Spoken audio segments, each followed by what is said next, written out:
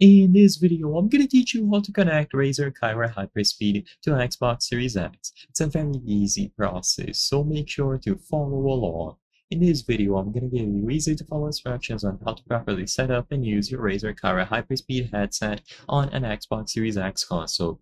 You will be able to follow these same steps to connect them to an Xbox Series S or even an Xbox One console as well, so keep that in mind.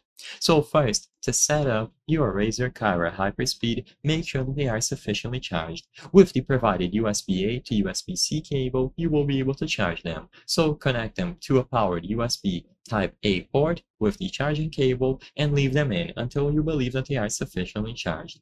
With this done, you will be able to connect them wirelessly to your Xbox Series X with the provided USB Type-C wireless dongle. So on the actual dongle itself, there will be a toggle. You just have to switch it from USB to Xbox. And once it is set to Xbox mode, you will be able to plug them into an Xbox console. So usually this will be done with the provided USB-C to USB-A adapter cable that they have. So plug it into any USB-A port available on the console. And once this is done, as long as the USB Type-C dongle is set to Xbox mode, you will now be able to power on the headset with the dedicated power button, and it will automatically pair itself up with the Type-C dongle. With this done, you are good to go. The headset is essentially plug and play.